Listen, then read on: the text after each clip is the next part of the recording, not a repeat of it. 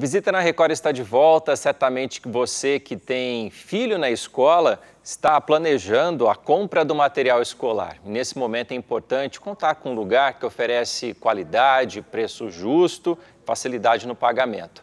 Quem vai nos dar algumas dicas é o Benedito José Caturelli, proprietário da Mectoca. Seu Benedito sabe tudo de material escolar, né, seu Benedito? 46 Nós anos no mercado. 46 anos, 45 anos efetivos nesse setor. Que coisa boa. Obrigado mais uma vez pela presença aqui no Visita Eu na é Record. que agradeço de estar aqui falando para todos os seguidores da rede. Que bom. Seu Benedito, eu me lembro que a gente da outra vez conversou um pouco aqui, contou um pouco da história da MacToca. A MacToca dispensa né, apresentações, né? a gente conhece há tanto tempo. Eu mesmo me lembro de ir com a minha mãe lá quando era criança comprar material escolar. Isso é muito bom, né? Isso traz aí uma, uma lembrança afetiva para a gente muito grande. Agora, se manter no mercado há tanto tempo, né, é porque o senhor consegue oferecer para o consumidor um produto que tem qualidade, como eu disse ali, com preço que é justo, que é um preço competitivo, para que as pessoas possam, nesse momento, fazer a compra do material escolar? Felizmente, quando foi criada a MacToca, o primordial dela era a qualidade. Uhum. Era e é a qualidade até hoje. Então, uhum. as grandes marcas presentes, Faber, Pilote, é, Acrylex e Tilibra, então sempre foram colocadas as grandes marcas. Uhum. E essas grandes marcas até hoje persistem na qualidade, independente das marcas importadas, existem ainda muitas hoje muitas marcas importadas de qualidade, uhum. marcas de procedência alemã, marcas de procedência japonesa, da qual estão aí, como eu disse, Pilote, a Faber e outras. Uhum. E o mercado sedimentou na qualidade, felizmente.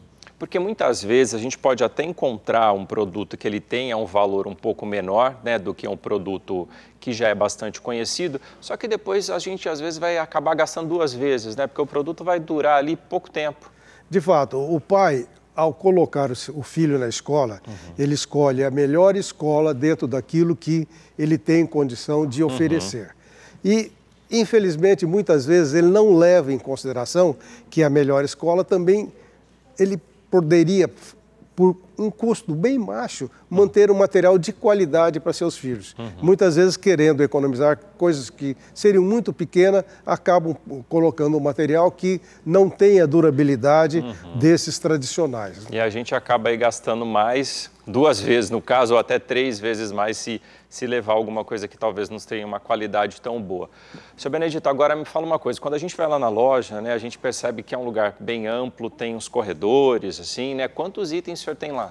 Nós temos cerca de 20 mil itens. É muita coisa. Só citando um caso, lápis de cor. Ah, hum. Lápis de cor, se nós temos mais de 80 tipos de caixas de lápis de cor. Então, 80? 80 eu nem imaginaria que tem 80 tipos não, Não, de, de, obviamente de, de todas as marcas, isso levando em consideração qualidade. Pois é. Porque existiria coisas bem abaixo.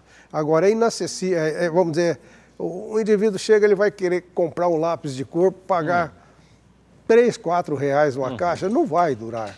Quer dizer, é um é. negócio que não dura. Se ele vai para uma caixa média, vamos dizer 15, 16, 17 uhum. reais, que seria um preço justo, ele ah. vai ter o material o tempo todo. E depois, se ele quiser, muitas vezes, algumas escolas que usam, ah, dependendo do método de ensino, usam a cor determinada, muitas vezes tem a reposição até dessa cor. É. Se ele precisa de um lápis laranja, de um lápis vermelho, de um lápis azul, uhum. na reposição isso acontece ainda. Agora o senhor falou aí da escola, né? É, o, o, o, bacana é que vocês têm lá as listas, né, aí da, da maioria das escolas, já, já sabe o que, que cada escola vai pedir, né, até para ter ali o controle do, do estoque, enfim, dos produtos que vão ser oferecidos. Certo, a, a, nós estamos, como eu disse, já na 45ª temporada uhum. e montamos como vocês chegaram a participar e colocar no ar, a mostra escolar, que é uhum. feita todo ano, em que as indústrias trazem os seus produtos, tá. os lançamentos, para a apresentação ao mercado.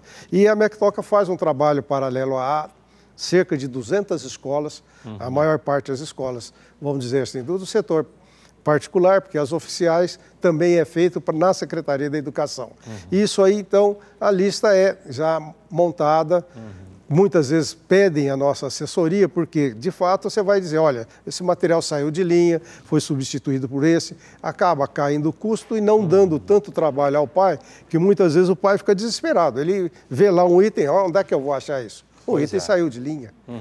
Então, quem pode substituir? Então é feito essa, esse trabalho em cerca de mais de 200 escolas, de, não só de Ribeirão, como de toda a região. Pois o senhor falou aí agora da região, né? A gente sabe que a gente está aqui falando para 100, mais de 100 municípios, né?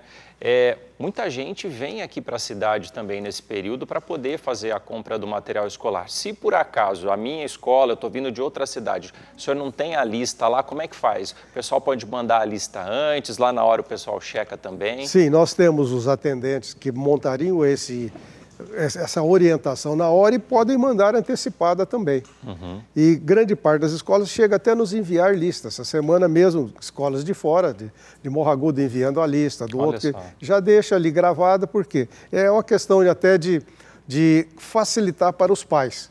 Uhum. Quer dizer, muitas vezes uma cidade pequena não tem essa gama de, de vamos dizer assim, de variedades certo. que exige, embora tenha escola, a um nível bem uhum. alto. Agora, tem lá o, o pessoal para dar esse auxílio, né? E também eu tenho lá o autoatendimento, eu posso pegar o produto, ver ali, se a mãe levar a criança, né? Que as criançadas gostam de estar tá ali no meio do material escolar, escolhendo o que, que vai comprar para começar a estudar. De fato, eu sempre digo que é pedagógico levar a criança e mostrar, olha, isso aqui você pode, esse aqui você não pode, embora possa substituir, até em questão de ensinar economia para a criança. Agora, a loja tem seus corredores amplos, uhum. rampa de acesso para deficientes, e a cada setor nós temos os atendentes. Muitas vezes alguém vai, ah, mas tinha um atendente para atender 10 pessoas. Mas, infelizmente, nessa época é isso. Quer dizer, nós temos que ver que 200 mil pessoas da região estão convergindo para esse setor. E a gente está aí na primeira semana do ano, né? E o pessoal vai deixando, deixando, passa o Natal, passa o Ano Novo e agora é o momento. De fato, aí vai ser aquele desespero. O, no, no, nesse começo, a, a, turma mais prevenida uhum. começou já a montar a lista em novembro. Pois é. Então já nós temos desde novembro aquele pai que já sabe da história, ele leva dois fatores de vantagem os preços são do ano passado, daquele material que não foi, vamos dizer assim, a, a, não foi mudado o tipo de embalagem, o tipo de qualidade. Então, ele já tem ali, porque você não vai mexer no preço, você vai, enquanto está o estoque, ele, ele vai sendo distribuído. Né? distribuído. Né? Então, inclusive, nessa, nesse início, quer dizer, muito, muito material novo já chegou, uhum. mas quem faz e quem antecipa sempre acaba tendo essa vantagem. Essa vantagem, exatamente. Seu Benedito, a gente vai deixar aqui os contatos. O pessoal da MacToca tem o Televendas, que é o 2111 7896. Telefone está aí no vídeo. Tem o WhatsApp também, que é o 99712 6675, 99712 6675.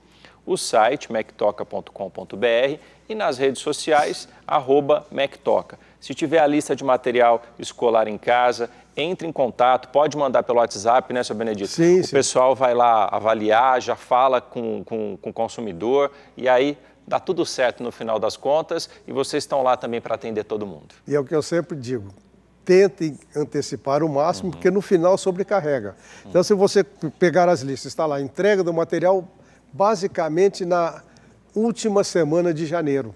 Certo. Então, a hora que chega lá para o dia 20, 20 e pouco, bate aquele desespero. desespero. Voltou de férias, as, as mães estão todas queimadinhas, as crianças Todo todas mundo está bronzeado. E aí? É. Aí é aquela correria, ou seja, encapar o material, fazer, é. colocar etiqueta, colocar todo o restante, é. porque, de fato, as escolas exigem uma, uma, uma, vamos dizer, hoje, uma gama muito grande de uhum. materiais. Né? É. Então, a lista chega a ter aí 60 itens, em média, ou até mais. É muita coisa. O importante não é deixar então para a última hora e nesse momento procurar o lugar que dá confiança, que tem tradição aí de 46 anos que vai oferecer qualidade. Não só a Mectoca, mas todos aqueles que uhum. de fato são especialistas no setor. Exatamente. Então é isso que é importante. Muito bom.